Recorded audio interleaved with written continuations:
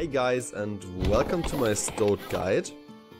In this guide I'm featuring the greediest build you can think of. Carpentry, Decima and Relic build. Carpentry is what I thought a very very greedy lore, which you usually don't take in multiplayer, but I think it is worth the hustle. And yeah, Decima is a lore which is exclusively for the Stoat and we are going to abuse that lore like crazy. Okay, we got an open stone, which is pretty nice. And it has our food on there as well, that's not so nice. Also, we've got a second stone. Uh-huh. That's really interesting. Also, I can afford to uh, destroy my uh, Pathfinder pavilion because I will scout it with forts later. So now my um, goal is to increase my population as fast as I can. And also I could build a fort. And a woodcutter on my main to save up on wood a little bit. And now I'm just going to sit back, relax and wait until I have population, which generates faith. I think two taverners is enough. That's why I reassigned one taverner to get the turn into a subject back again. And once you hit like 12 population, you have to build a quarry and mine your stone. So keep that in mind. Because you don't want to like population block yourself. Let's not forget to build a woodcutter.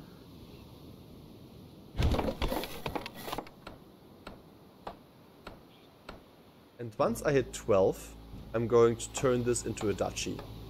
And the way you can do this, wait, you can actually like kill this wolf real quick. No problem. Um, the way you do this is you actually assign villagers in this zone in a fort. And that's, that's uh, a duchy later on. So you wanna go for Via Regia so that your Mart evolution is free. And now I'm on 11 subjects, so I will have to build a fort and I'll have to work the quarry very soon. Also, I think I'll have to kill a sheep.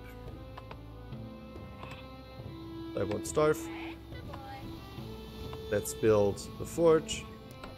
Build a quarry. Can hire a lord right away. We got the gold for that. And now comes the fun part.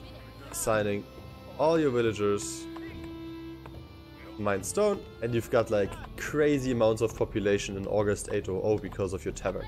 So next is food building.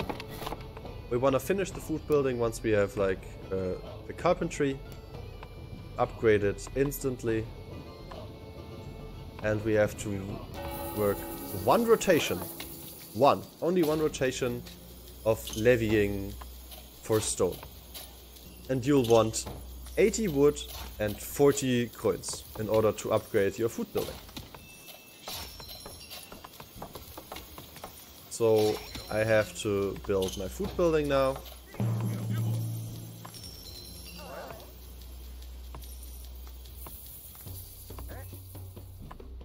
Wait for carpentry. Don't upgrade it just yet. Reassign your domain lord. Carpentry, upgrade your food building. And this is like crazy good for you already. Next is upgrading the tavern. Since upgrading the tavern will increase the livability in, in my tile here. So I'll need a lot of wood, first of all. And as you can see, I have minus coins. So what am I going to do about it? Obviously, I'm going to place a mart since the mart is what generates coins. And once I got the mart, I can upgrade it for free. And then build a forge. I'm going to place my forge here.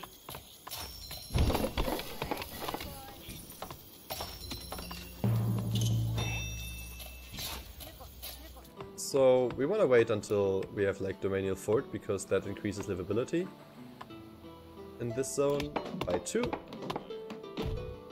And now I will evolve Tavern as well in a second. And I need more population. Increase livability in adjacent zones. And work your hostelry. Since population means you can have more workers in all the zones and you need a lot of population. So happiness equals more workforce. Also, I will develop this zone. And once I do that, I will reassign all of the, these guys after the levy to gather the rest of the stone. So that's my 8 livability. And then I wanna build a monastery. Somebody else trading the, the by the way? Hope not. So now I got Guardian, and now my, my forts are scouting like crazy. So usually I can I can save up on food. Or at least like not trade away my food. But I think with the with the sheep I should be fine even without like saving up on food. So next is building a monastery. The stone should be mined soon. Nothing you can do sometimes. So that's my monastery. Developing this. Adding food to Jotun. And now I want to increase my livability in there even further. And that's why I I'm building a tavern there.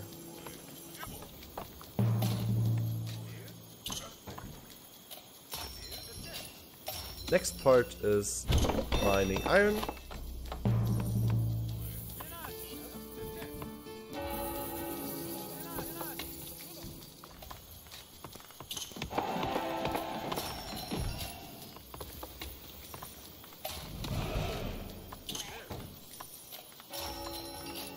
So, since I want to boom like crazy,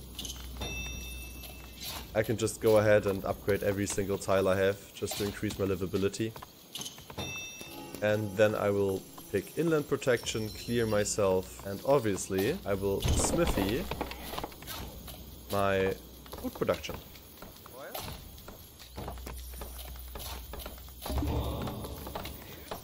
So let's clear.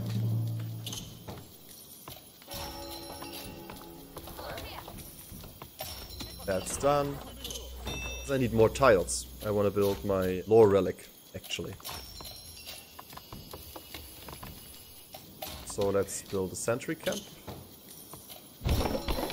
And then recruit my chief.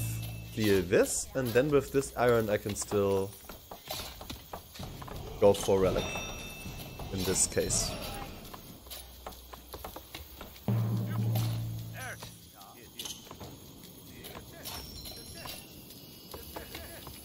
Let's save up on food a little bit.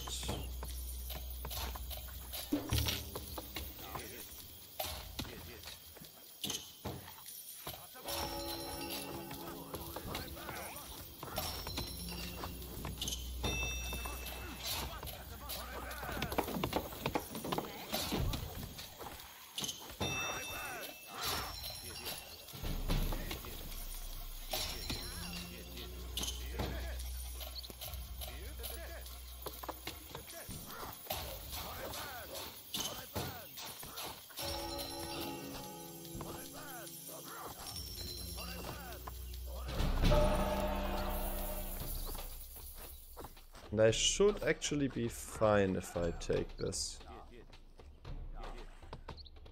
Let's see, maybe maybe I'm wrong. I'm intrigued.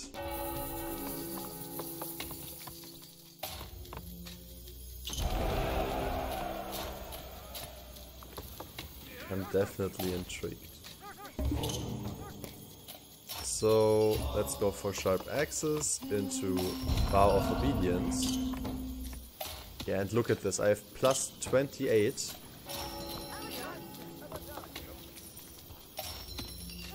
In winter. And now I can finally go for lore relic. How does the Jotun situation look, by the way? Wow, I'm like 60% already. So I'll have Jotun soon. Can bet. Relic is done. Back to this. And now it's all about getting camps. And now I want my Vow of Poverty, get a smith out for my one gold tile, forge myself, and then that's it. Also, now, since I want to upgrade my camps, I need to mine my second stone.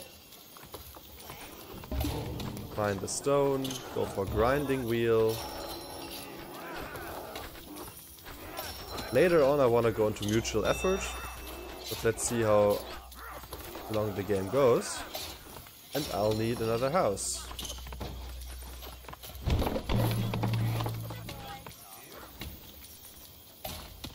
Let's upgrade this, means more livability. And now all I need is camps. And then that's it. Also like colonizing with um, with faith feels so good. Like feels really really good. So I wanna upgrade this anyway. I wanna upgrade this um, to a citadel anyway.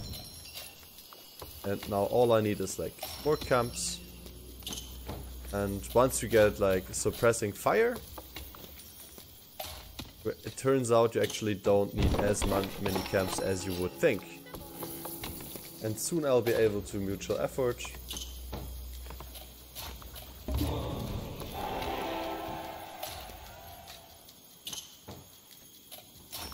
Trade the Jotun, like I said. And then I have a Jotun. I could convert. I should convert. And maybe your team has even scouted. Also, what's really really nice, if you uh, place a forge on a tile with camps, you can then in turn levy for military power. I want to show you this very soon. Okay, so now I got the Jotun, 802. That's like really, really good. Now I can go for dwarfs. Let's actually go for the K-form dwarfs. These guys. Upgrade this. Soon I Vow Poverty. And overall you're just a very like defensive clan, always levying for, for your team then this point, the stage of the game. Build another sentry camp, obviously. You could also like trade away your food to your neighbors. That works really nicely as well. We have like tons of lords. You can basically like forge everything. And I'm not using like any uh, any food upkeep right now because all I have is like lords, militia, a Jotun. So this feels like overall just really really pleasant. Also, um, you're noticing that I don't have much spare food, so it's really nice to like have the ability to colonize with faith instead of food, in my opinion. I feel like that's really really nice. And obviously you can levy twice but once you get like 1500 military XP, it doesn't really matter. And then you can like, yeah. Depends on what you want to do.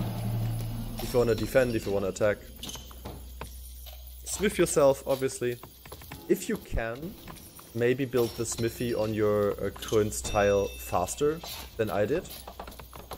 And also try to forge yourself like earlier if that's possible. But like I said, this build is one of the greedier ones. You have to always like forge ha. Hauberk is insane. So once I got this forged, I'm basically ready. You don't have fur coats, so you don't want to attack in winter with the stoat. But by any means you like don't have to. The wood for that. Hauberk is done. And now is the question, do you want to go for champions or do you want to go for fantassins? I'm going for champions here. But you can do both easily. And just to show you like the convert here.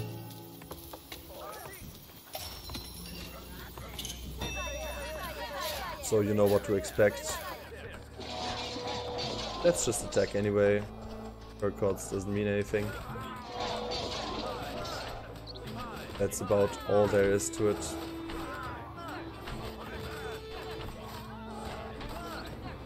Well, let's just kill this guy.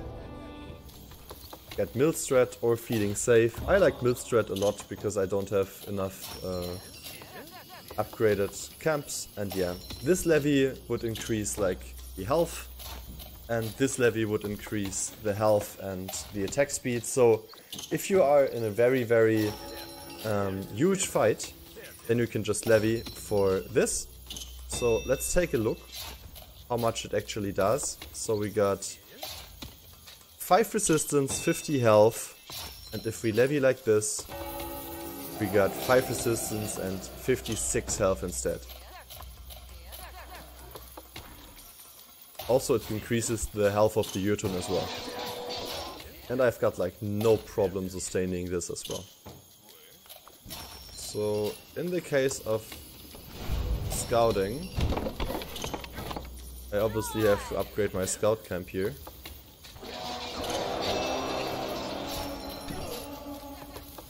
So yeah, that's it for Or...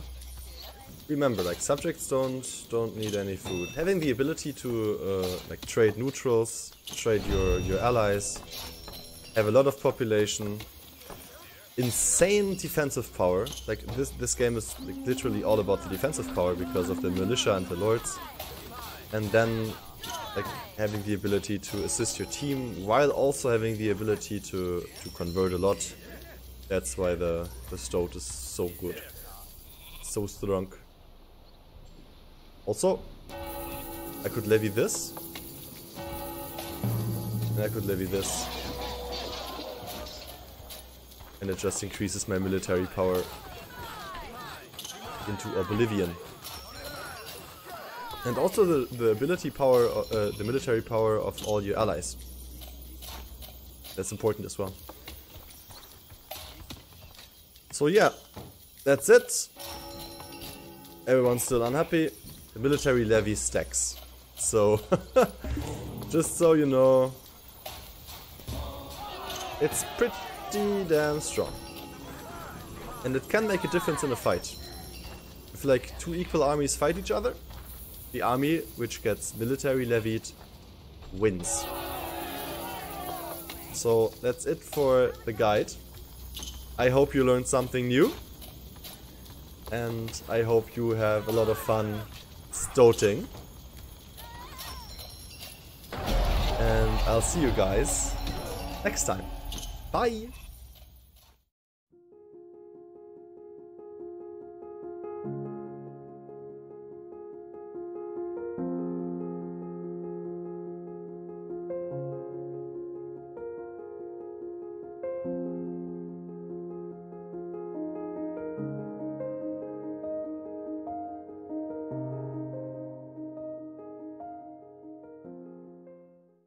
Hey guys, I just wanted to share with you what you have to do when your stone is closed because in this case you will have to take inland protection first and that actually works pretty easily as you just build a woodcutter on your main as well and then you build a fort on your food tile and after building the fort on your food tile and taking inland protection you can then hear yourself.